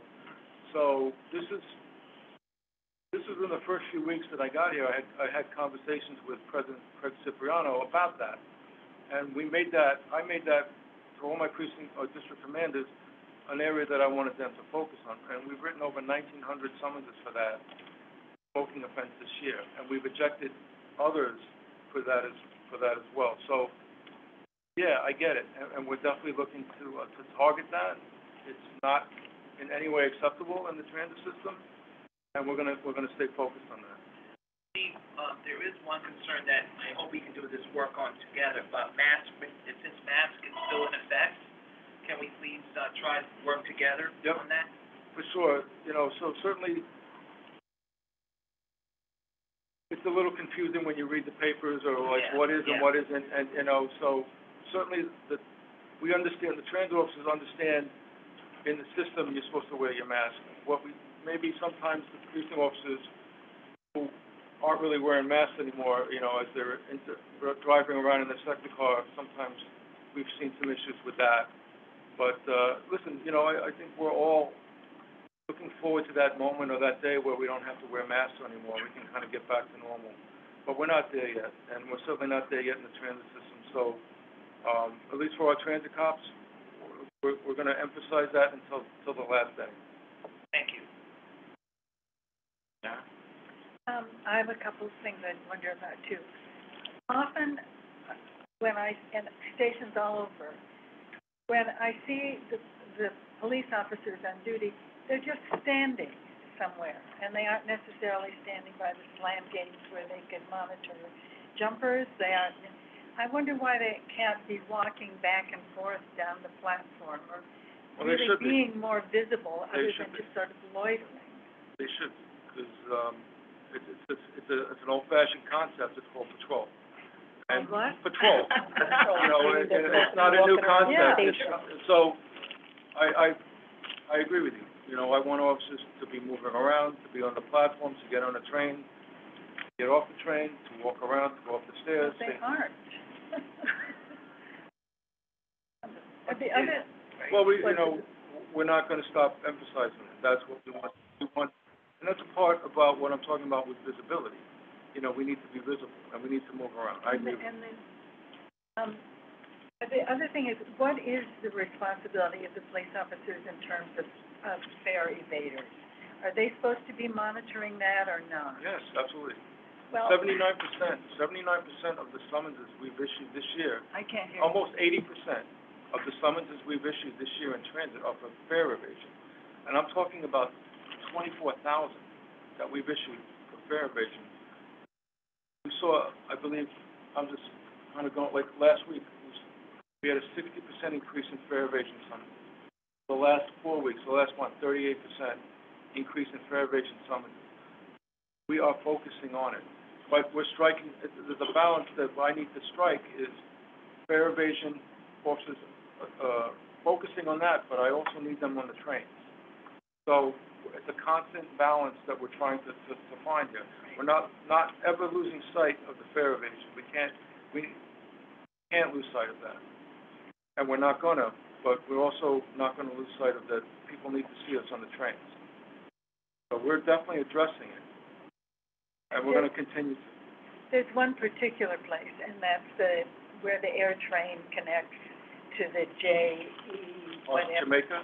Yeah, there is never not a violation there, because people come through the slam gate and open it with their luggage to get out. I think that's Yesterday, I saw twenty people go in, and they're either people, uh, it, you know, that's happening, and then there are also people selling fares, you know, and buying fare cards there. I don't know why there isn't a permanent officer stationed at that place, because it's never not being violated. So I know at that station, there's a, there's a mix of, that's Transit District twenty, should be some of our officers, but I know there's also MTA officers, well, that, that work maybe, or Port Authority, or, but, you know, that's Transit District twenty, I will revisit that, and see what we can do. It's a bad welcome for tourists who get off the uh, air train and come into the subway and then encounter what Sharon's referring to. I, I, I dread getting off the air train to go through because I know I'm gonna have to encounter all this lawlessness. Just, We'll look at it. Look at it. Karen? Yeah, and, you know, this is probably more about, uh, the cycle of crime and the psychology of crime. Why now? I mean, like, two and a half years since the pandemic, you know, ridership is, was steadily coming back. I know you have like different levels, you have like, you know, the homeless and they're reacting to various changes. And then you might have like some kids and groups and, you know, they're doing prankish things. But then you have like people like, who are just targeting people, opportunistic crimes. I'm not quite sure, but it's like they're all happening together. And I just feel like the ante is just increasing and I'm just, is it just, I, I'm just trying to make sense of it and also, not that it's your job, I'm just trying to make sense of it, but also wondering, you know, this whole chicken and egg scenario, but as more people come on, is that really, or just people are just, there's a shift and people are just, they don't care, I don't know. And I'm maybe not expressing myself very well, but that probably represents, you know, my feelings right now, so. Nobody. Right, so, I mean, one of the things I mentioned earlier was the broader context, so where we are right now versus where we were last year at this time, we're definitely seeing an increase. But where, where we are right now, when we look back to pre-COVID levels, we're actually slightly down from those crime levels. But one thing I did notice, and, and I mentioned it at the board meeting, uh, you know, our increased, um, felony assaults, which is, we're up like thirty-three percent of felony assaults this year. And probably forty percent of those involve a cutting instrument, which is very alarming. And when I start to really look at those assaults, and I read them all, a lot of them began as a dispute, an argument. Uh, you stepped on my shoe, or you bumped me, or you shoved me, or there was a dispute at Wall Street where it turned into a stabbing, which was over a seat. Yep. So as the trains are getting crowded, maybe people aren't used to those crowds anymore, and now that sort of close contact is sort of becoming a dispute, leading to, you know, you know, we had a shooting the other night at Parsons Archer, Yeah. which started as a dispute and quickly turned violent. Um, it started as a physical, as, as a verbal back and forth, led to a fist fight, and then unfortunately it led to, you know, deadly consequences. But that started as a dispute. So that's certainly part of the equation that I'm seeing, at least with assaults. Um, like the robberies, the, the muggings, and then, and I noticed like the purse, like, I know in the past when people have stolen purses, it's like snatch and run, but now it's like violence to the ground, wrestling, kicking, and so I see like this intensity that I haven't seen, so that's concerning as well. Right, so just, we, yes, we've seen an increase in robberies this year. Again, when you look at the COVID period, we're actually down twenty-two percent versus the period right before COVID hit. So, but, Down twenty-two percent in, op- in all numbers, not per, uh, per in, in capita, we're talking about robbery. Robbery. We're talking about robbery. Right. They weren't as violent as they are now, So- correct? Listen, I, I used to run central robbery, all, ro- to me, uh, every robbery's violent. That's my philosophy. You know, I used to be, in Detective Bureau, I ran central robbery. So, we are making arrests for robbery. So I'm just gonna tell you, like, we're up forty-three percent in arrests this year in robbery. And that's a mix of OROSs who are right place, right time, or they, they'll be able to arrest the offender, but also the great detectives we have in the transit squad who used to work for me. They're fantastic. And, uh, they know how to get out, they know the system very well. They know how to navigate, they know where the cameras are. They interface with the MTA to get the video quick. They get the posters out to the media quick. They get the wanted flyers out to the cops quick. And they do a great job, and we do it well together as a team, and, we're making a lot of arrests for robbery. But, uh, you know, robbery is something very, very, uh, something that really, I focus very hard on. Thank you. Uh, I have two unrelated questions. One is a, a follow-up to Karen's question, which is there not as an increase in above-ground felonies, robberies, crime So, also? And isn't it just because the subway, I, mean, I've spoken to some cops and about this, that there is more attention to this, what's going on below ground because it's a concentrated area. And I wonder how you feel about that. So, so you're right, yes. The city is experiencing, as, as a total, an increase in crime this year. So, and transit crime accounts for about two percent of the overall city's crime. So the, the city's crime has gone up this year, and we have not been exempt from that. You know, we, we've also experienced increases. Would you say that there's more attention because it's a concentrated Well, you know, rural it- areas, rather than saying the streets, you know? Well, it's a big city, you know, for sure, but the focus on the subway system is not new. It- You know, when I was in transit in Manhattan, anything that happened in transit is magnified, and, and we know that. You know, because one, it's so important, and it, it is a smaller environment, it just gets, it gets a greater amount of attention. And, you know, we understand that. So the greater focus is not something that, you know, I see as adversity. You know, um, like if something happens at Central Park, there's a great, it, it's sort of magnified. Exactly. And so if something happens at Times Square on the train station, or Parsons Arch, or, or anywhere in the transit system, you know, it's magnified. You know, the, the event that happened in District 34, 36th Street, is, is a- was a horrific act of terror. But happened to happen at 36th Street, you know, It could and- have but it could have been could have been anywhere, and, and that's what our officers are trying to defend against. You know, we're, we have our own internal anti-terror unit. Um, we're actually in the process of building a Brooklyn anti-terror unit right now. Um, that's coming, hopefully in the very near future, we'll be able to announce that at a future board meeting. And my second question, which I, which is what I was going to ask you about, is, um, when you've been talking about, um, fare evasion, um, uh, smoking on the trains, Yep. whatever. And I was reminded of one of your predecessors way back, and I was wondering if you've had any contact with him, because he has always had his, his broken windows theory, and I'm talking about Bill Bratton. And I'm wondering, were you, if you were around when, when he was around at Transit before he Oh. became the, the, the Uber commissioner, you know? Well, thirty-five years, so yeah. So, uh, Yeah, yeah, So yes, uh, so when you go back to when, uh, commi- I, I have to call him Commissioner Bratton, because that's how I know him. Commissioner Bratton came to transit police, I was a cop in the forty-fourth precinct, back, back in the nineties. Yeah, So by the time I came to transit, he was not in transit anymore. But obviously, he becomes the police commissioner, and I get to work for him in that capacity.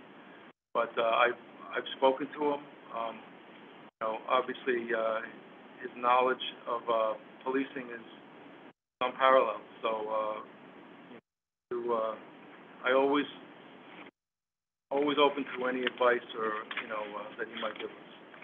thank you. Um, I'm gonna call on you one second. So, speaking of former, um, commissioners, I was on my way to a, a meeting here when Chief Delatorre was the head of the transit division.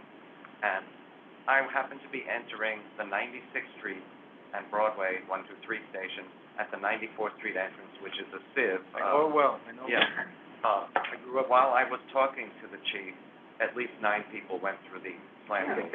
Um, he had an idea where if you get so many tab summonses, you're considered banned from the system, and if you're caught again, you're considered a trespasser, and then you could actually be arrested.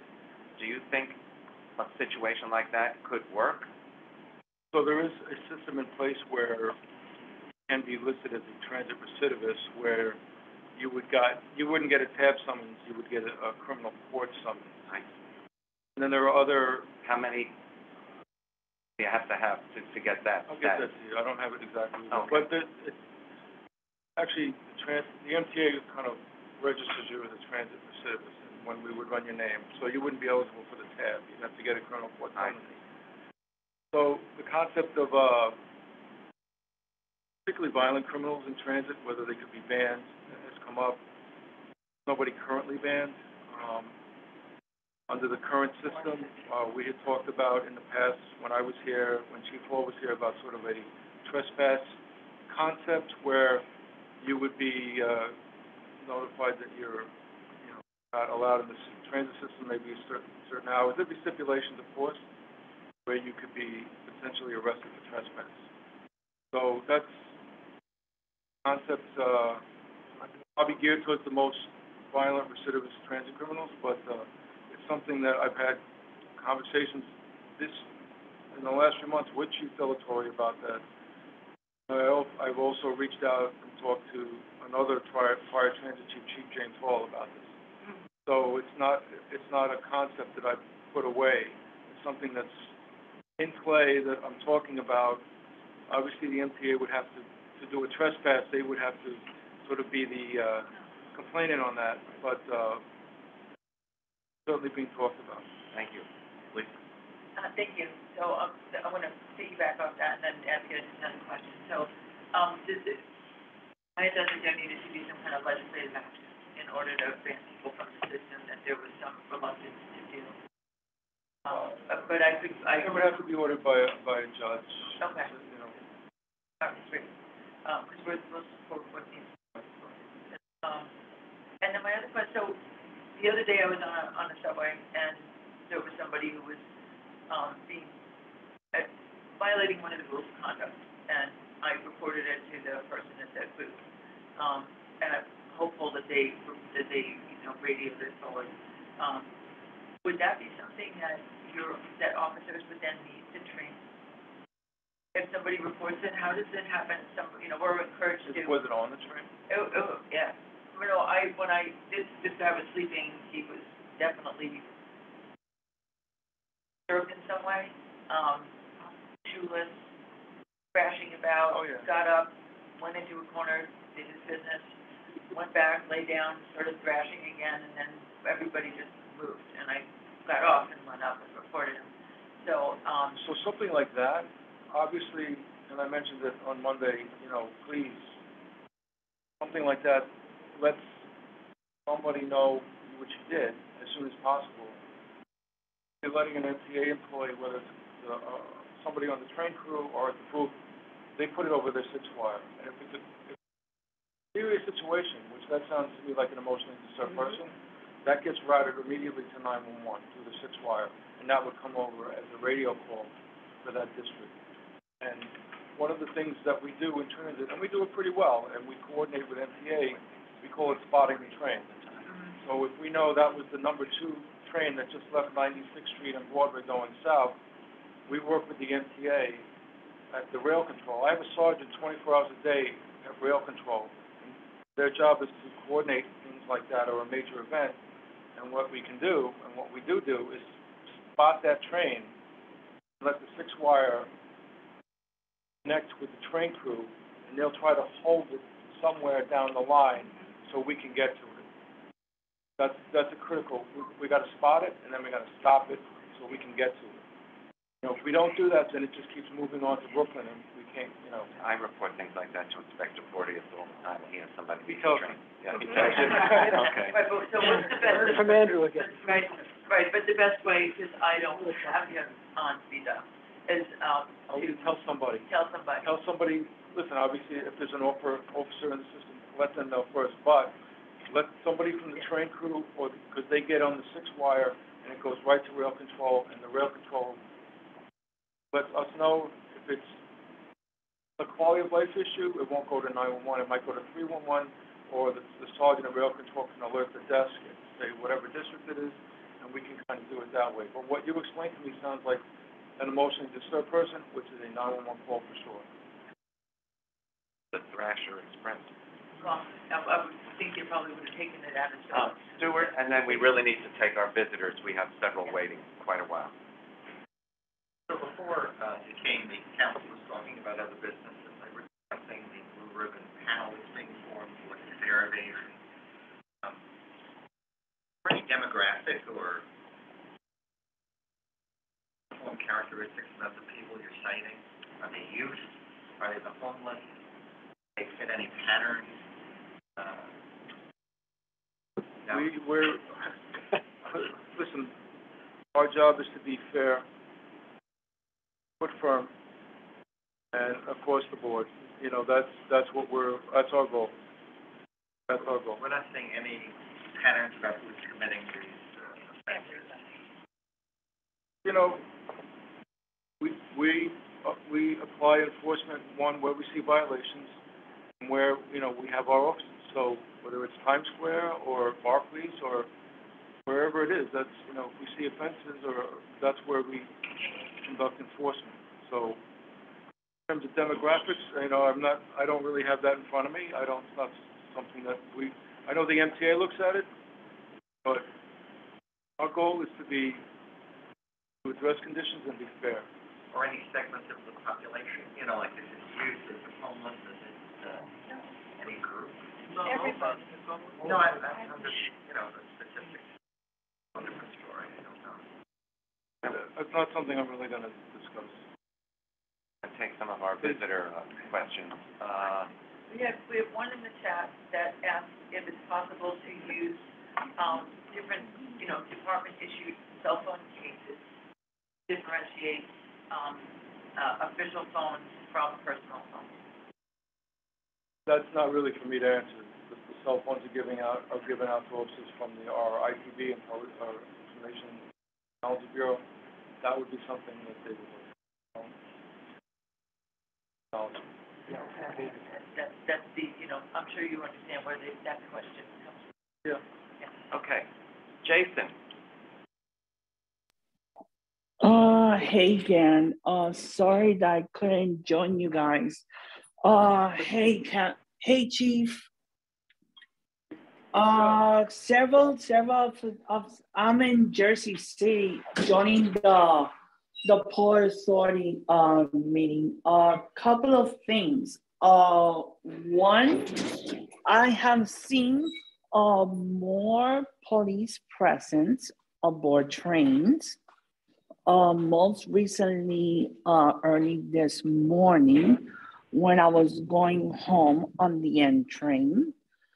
But at the same time, uh, there was people smoking aboard that same train. So what what could we do, Chief, to have uh, more police officers aboard uh, trains? Let's say because I got on uh, Whitehall Street, and these uh, police officers were already aboard this train, but they got off at Court Street. So what could we do to, uh, let's say, have uh, already police officers ready at court that they could uh, alternate? The other police officers that they have to like get to uh, Manhattan? Like for instance, from Transit District uh, 30. Right. So, so the sort of the, the dance of the train, train runs, you know, obviously, I want to get as many off train runs, but at some point they get off, and then goal for me is to get as many cops on as many trains, on as many tours as possible. And, you know, sometimes they'll get off, and then, you know, you, you'll stay on. So, but I want to, something, hey Jay, it's definitely something we're looking, uh, maximize, and I'm trying to, uh, get on, do longer train runs, sure. That's, uh, that's something that's very important to me. I, I understand, and the smoking thing I, I mentioned, uh, already, we're, we're addressing it. It's, uh, it's unacceptable behavior. Uh, no matter where it is, what, on the platform, on the train, that's, that's gotta go. Well, Chief, uh, I noticed that they do this uh, after midnight. And uh, I think it is very important to have a police patrol after midnight. And especially in my home station, that is Atlantic Avenue Barclays Center, I'm not seeing uh, police officers from District 32 at all. Well, that's, hey Jay, that's a very busy station, and I agree with you, and I, I, I want, I want you to see officers there, so I will take that back. District thirty-two, we have a brand-new, uh, commanding officer there. Uh, Captain Hawan Kim, and I will mention that to him. Thanks, Jason. Mr. Thank you, Chief. I'll see you guys next month. Nice to see you, Jay. A, the face mask rule out of nowhere has to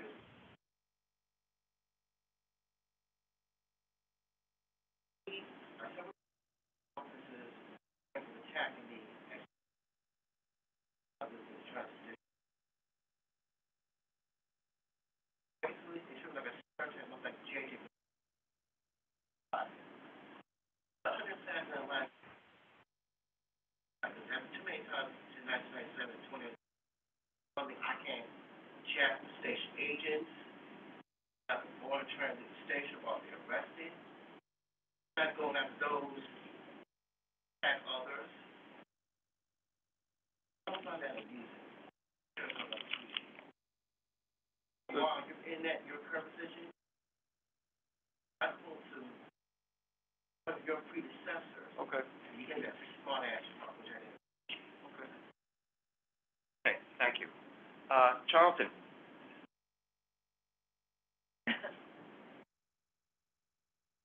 Charles, you muted and you pressed the wrong. Can you hear me? Yeah, can. can you hear me? All right, so Yes. good evening, uh, good afternoon, everyone. Uh, my name is Charlton D'Souza. Uh, I'm the president of Passengers United. And Chief, my concern is this. Uh, I was at the 34th Street Herald Square Station on the 6th Avenue line in March, and this was about 11:45 at night, and a guy was on the third rail on the tracks trying to commit suicide. And we were there for almost 45 minutes. People made 911 calls. Um, I pressed the intercom, the help point intercom. No police showed up. And that station, every night, we're seeing people lying on the platforms or on the end platform upstairs, on the lower platform. And what I want to know is this can you please look in system wide to see what is the response for the 911 calls? Because I'm getting a lot of complaints from the private security guards that are working for the MTA that when they see a condition and an individual's being disruptive or there's a crime in progress, they're calling 911 or they're calling that hotline number that they have and the police are not showing up. This is a major issue. Same thing with the train crews. When there's an incident on a train and I go to the conductor for assistance, the RCC is telling the conductor radio for police en route. But the problem is when the trains go down the line, there's no police. And this is happening overnight, especially I would say Saturday night, Sunday night. It's just horrible. So I need you to please address this issue. Thank you. All right, I, I will definitely look at it. Thirty-fourth Street obviously is a major, major important corridor. Um, I, I can't really understand or Huge explain to that. It's a huge complex, but we have officers there twenty-four hours a day between Seventh, Eighth, and Sixth Avenue, so that incident where they, you said there was such a delay, I don't quite understand that because nine-one-one calls, you know, obviously we make great efforts to get to any nine-one-one call as quickly as we can. But, uh, I, I will, you know, I'll stay on that. Thirty-fourth Street obviously is of critical importance. And the passageways, the passageways overnight, you have a lot of these entrances, like the 35th entrance that goes all the way to Macy's. There's drug dealing going on in there. People are selling drugs. So I think, you know, the MT and the NYPD need to work together to close a lot of these unstaffed entrances at night where there's no one over there. And you could get mugged, raped, God knows what. So Okay, um, Deborah? Hi, Chief. Uh, I, I have a sec, a question that adds on to what my son said. When I go through the auto gate with my card, I tap it or put it in. People purposely wait and have actually shoved me so they can get by me. So what would, so there once or twice, a few of the officers gave me look like acting like I was one letting them in, but I don't, I'm not happy about that because it's not fair to me. I'm paying correctly and I have a walker and there are times I've had to use my wheelchair to get through. So can you train the officers to understand that it's not, what am I supposed to do if this big man pushes me? I'm only five two. and a senior citizen with disabilities. Understood, driver. Thank you. I get it. Thank you. Thank you. Andy?